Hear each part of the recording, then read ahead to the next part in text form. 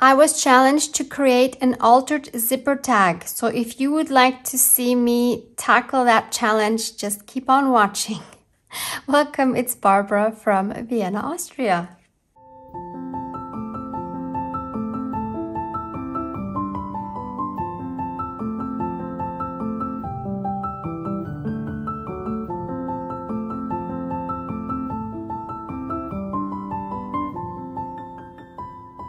Recently received an email from Tammy in Tennessee challenging me to create an altered zipper tag.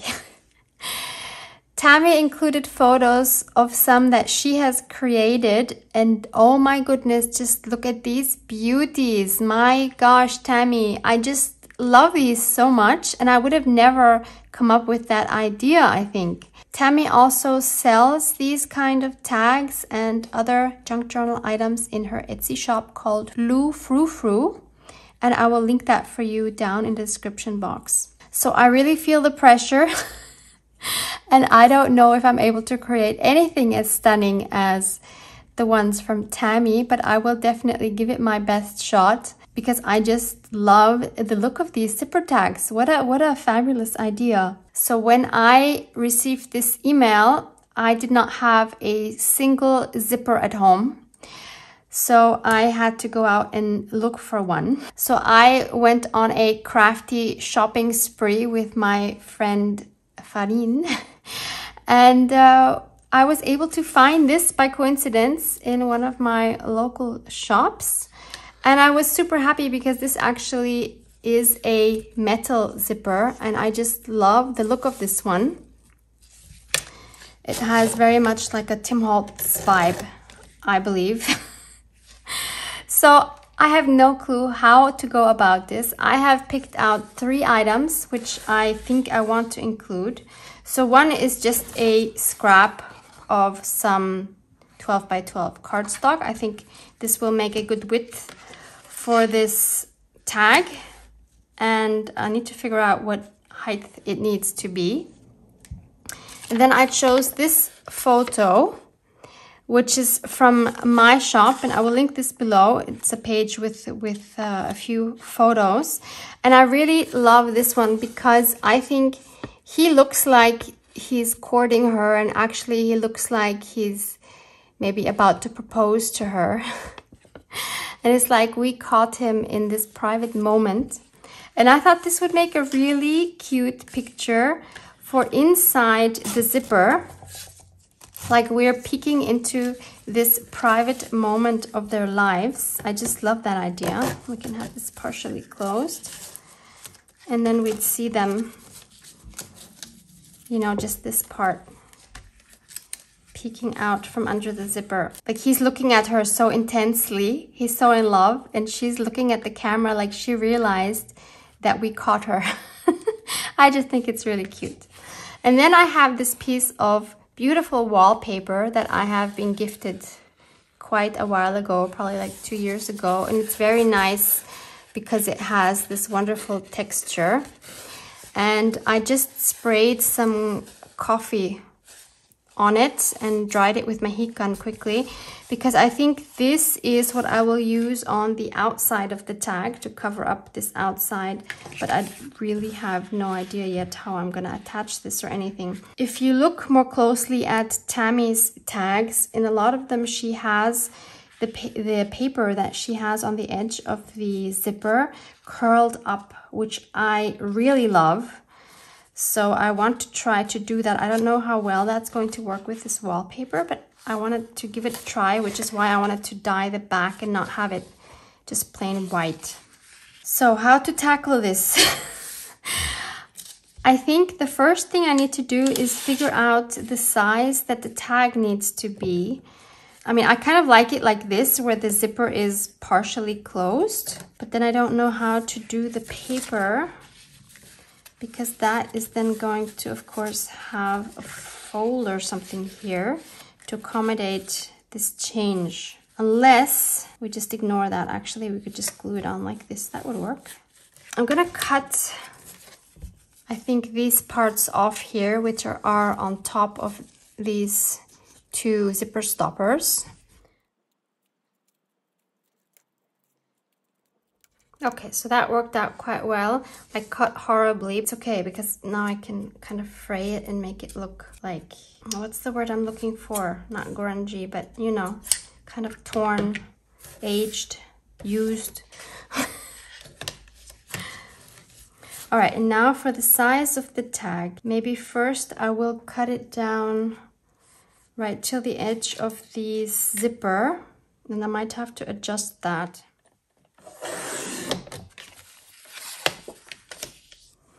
Okay, now if we open this and put them like this, if we cut the corners off, like in traditional tag shape, we want these to line up with those corners. I'm not quite sure how to do that. Or maybe we can just then change the angle of this as well because I don't like the angle here. So I wanna, how do I do this? Let me just do this.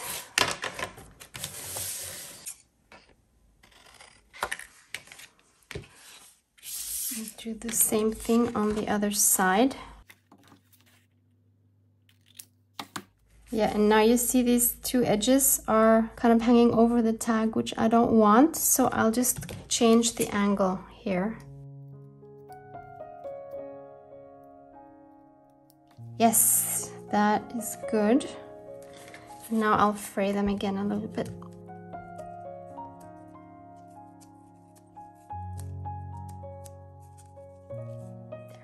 That's better.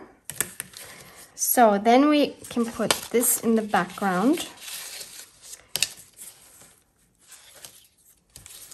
So that will go up all the way till the edge. So I guess I can glue this onto this already.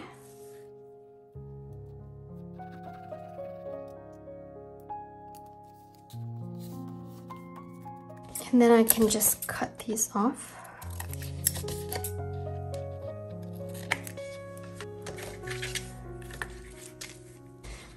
And now for this part, I'm so unsure about how to do this. All right, what I think I'm gonna do is I'm gonna try to just kind of fray this edge, maybe tear it a little bit, but that's the thing, it's hard to tear when you have these this twine going through it. I can actually only just cut it a bit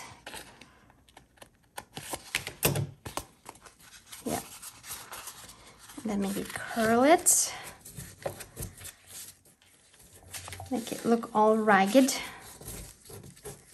Here it's torn anyway, that's awesome.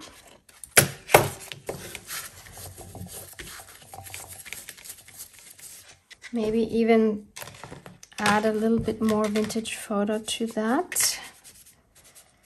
I wouldn't have needed to coffee dye it. I could have just done this. Anyway, so, and then I will put some three-in-one glue here. I don't know if this is how Tammy does it. I'm sure she has a better way. Oh, this just happens to be exactly the same height. I'm just realizing that was not planned. so like this. I like it. This looks pretty cool. And then I need to cut off a piece and do the same thing on this side. So again, let's just cut it in a few places and curl it up a bit.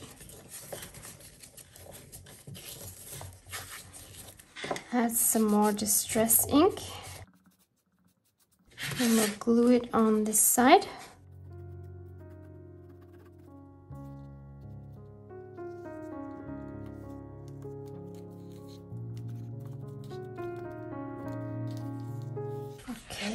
If we put it like this, we'll open it a little bit more. We could just glue this on and then we can cut off all the excess. So maybe I will just draw a line so that I know where the zipper ends. So that I know where I can put the glue.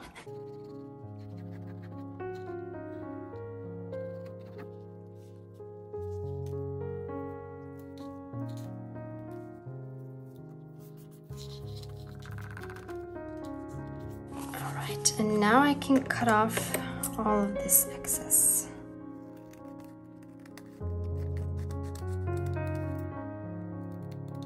Then we can ink up the edges. Now I feel like we need to bring in a bit of the romance for this tag because at the moment it just it's very plain and it doesn't look very romantic besides this cute picture. So I thought one thing I could do was I have here an image of a German wedding telegram. So a, a telegram to congratulate someone for their wedding. And I thought that works really well with these here. So after they got married, they got a wedding telegram. And now through the telegram, we know their names. So she is called Elise and he is called Dieter. Dieter is a very, very German name. So I printed this at 30%. Uh, I will link this down below for you as well in case you need a German wedding telegram.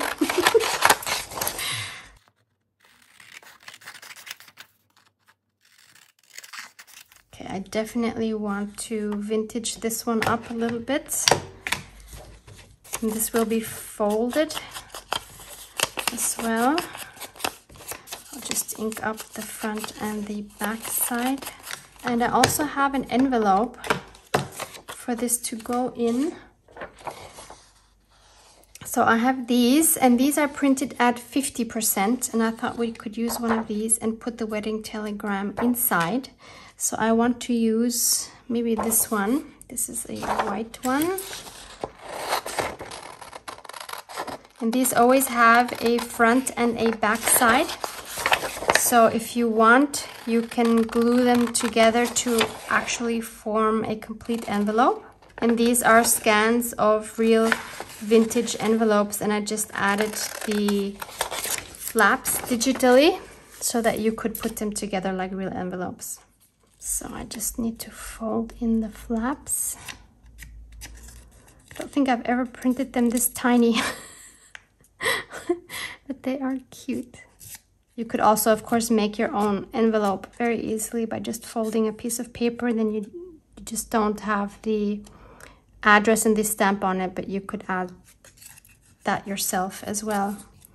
Now I could just glue this back side onto the flaps.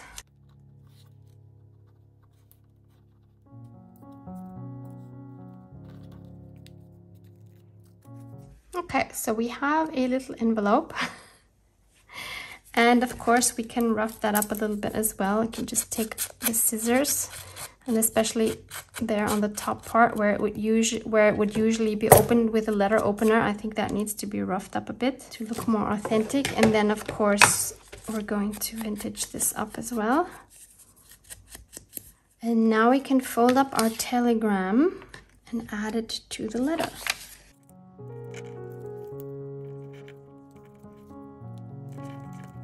Haha, perfect fit. Wow. this is so cute. okay, so we have one element. I love this. Maybe we should even put it in like this so that you can see it's a telegram peeking out. Love that. Then I think we should add some, maybe some flowers, some wedding type flowers. So what I have here is either these or I also have these. So maybe something will fit. I don't want the yellow. I want something white because we're talking about wedding. I don't know if this is too big. Might be too big.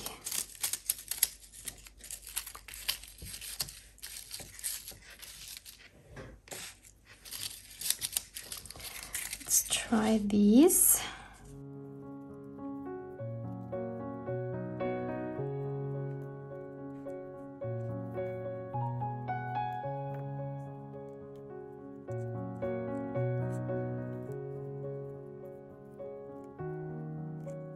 What if we even added some metal gears to this? Because I, I don't know, I was thinking of steampunk.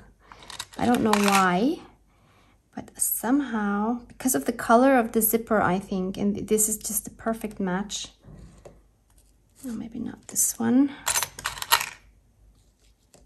I don't know Yeah, I know there's no relevance to the marriage or to the wedding, but somehow I just love the idea.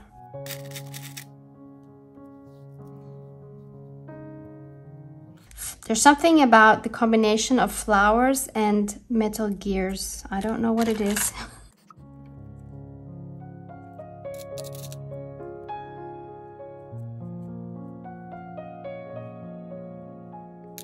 Okay, what about some butterflies?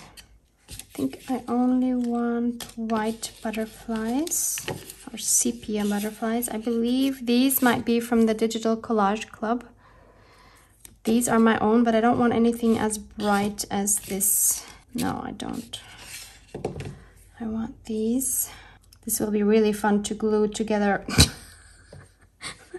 Why am I doing this to myself? I don't know. or is that too much? Maybe I need a smaller one there. Maybe I have something in my little ephemera book.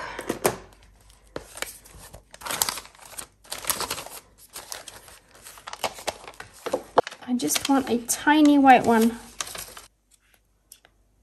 Or maybe a green one if I can't find a white one. oh, perfect. Perfect.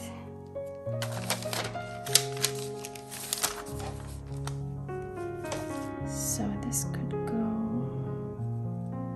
up here. I could maybe even add another Definitely need to ink those up. Okay, I also want to add a ribbon up here. I think that will add a lot. But maybe first I should glue everything down. I'm dreading it. I'm kind of like procrastinating the gluing part. All right, let's just go for it. I need to glue it. I have my heat gun next to me, all fired up. Oh, I'm nervous. I'm just not good with my glue gun. and the problem is I can't glue top down. I need to glue bottom up. Where do we start? Where do we start? Um, I guess I'll start with this one. Can I do it without burning my fingers again? Let's see. It makes me nervous when it smokes. ah, and the metal is getting hot. I think I need a glue gun course. There, has gotta be, be better method than what I am doing. I think Tina needs to teach that course. Tina from Shabby Dabby Doodah. I always mention her with the glue gun because she's such an she's such a pro and I'm so fascinated. I decided you don't have to watch me struggle so I did the rest off camera. So everything is stuck down now. And I'm glad I did this off camera because I actually managed to burn myself. Look, this is gonna be a blister. good job, good job. Guys, please be careful with your glue guns. I hope you're more talented than I am. So for our topper here, I thought rather than making a round hole, I will make one of these slots with my slot punch. I will try to link one of these for you. I think they are phenomenal. I think they're meant for like badges, but I think they are super cool for tags. So let me just ink around that a bit. And then we need a ribbon to go in there. So let me grab my ribbon box. Let's see what would work. We could do either something that is a similar pink to this or like an off-white. Don't think I want to do lace. I have this. It's mm, it's kind of a different pink. What about this one? This is totally different. So is this. So is this. this is a very similar pink, but this is too thin. If this was thicker, it would be really nice. Okay, I guess I don't have anything pink that fits. What a shame.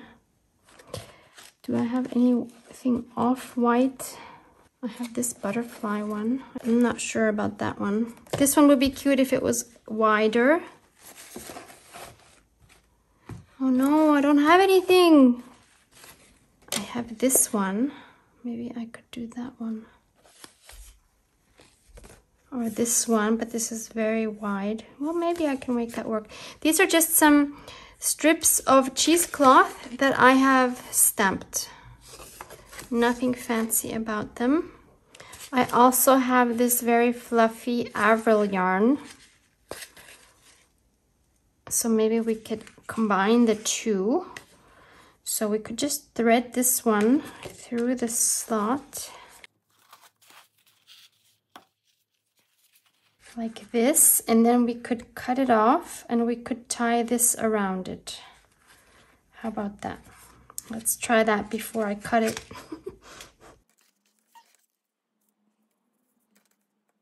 Man, my thumb is really starting to hurt.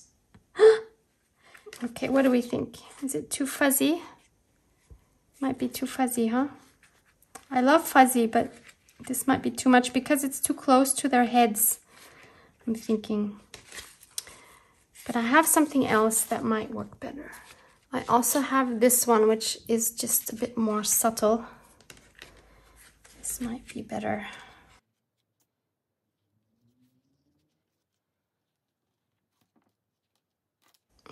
Think this is better for this. So let's cut this off. Let's fray the edges.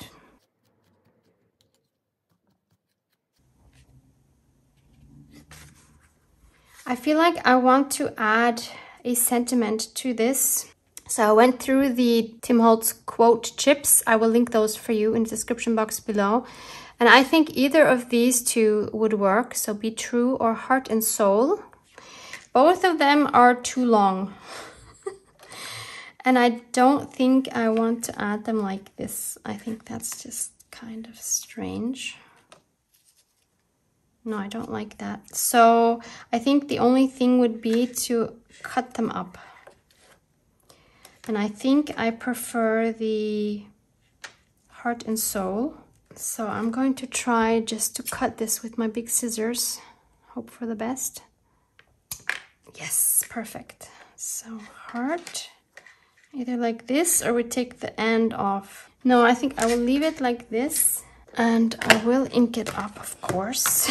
Let me glue it. Hopefully not burn myself again.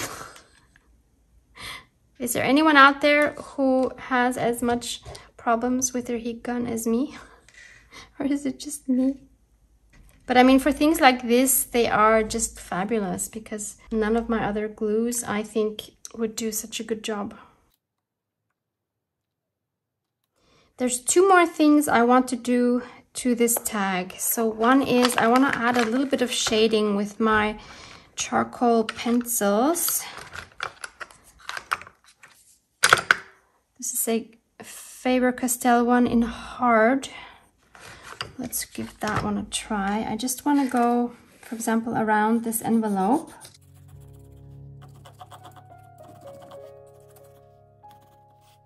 And then around these two.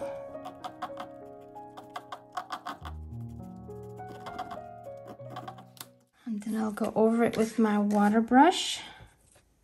Don't know if that really makes a difference on the wallpaper. It's kind of like fabric. Yeah, I guess it works a little. Can't really, um, what's the word, fan it out a lot. Yeah, but it's okay. Yeah, it definitely does add some dimension. I kind of made a mess now, but Do you see the shading here and here? A little bit, I guess. I could make it a little, whoops, a little stronger. Doesn't show up as well on camera. And then maybe even here a bit. And here.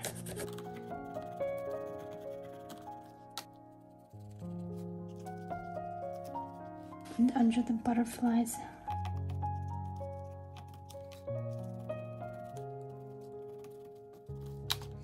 It's the details that matter that just add to the overall look.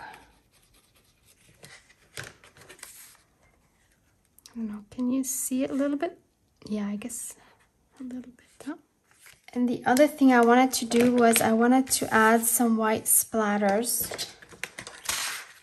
So I have my gesso here. It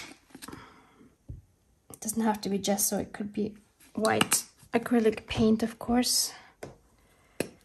This is way too much.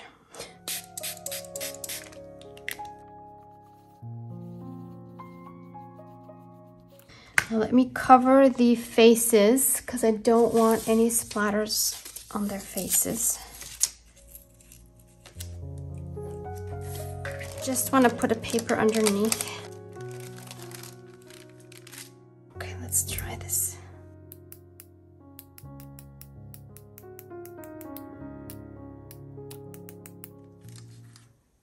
I think that added a lot. That made a huge difference now. I'm wondering if I should add some black ones as well. That would also be cool. Okay, let's do some black ones as well. Instead of getting out my black watercolor, I could just try it with this. I've never done that. Oh, it doesn't work. okay, I'm gonna get some black watercolor. I decided to get some black acrylic paint instead. Cleaned my brush.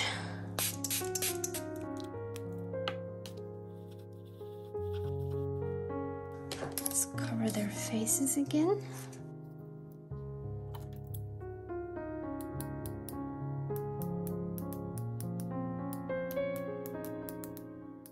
Gonna take a baby wipe and try to clean some of that off from the heart and soul because I do, whoops, I want to be able to still read that. Oh no, oh no, oh no. Oh, okay.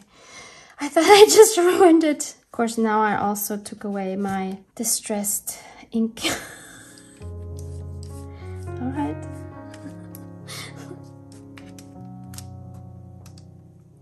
yep, I like the added black spots as well. Since this tag is very, very dimensional, you can see here, it is really super dimensional. It is probably too thick to go into a journal, but it would probably make a great cover for a journal. So let's see what that would look like. So this is a standard size TN insert. And this would be like the perfect size for that. You could put something else on the background. So that would be a really cool cover. Or if we want something more substantial, I have this one here, which I bought, I don't know, maybe two, two and a half years ago from my friend Alison. I will link her Instagram below. I'm, I'm assuming that she still sells journals. And I think this one might look really good on here.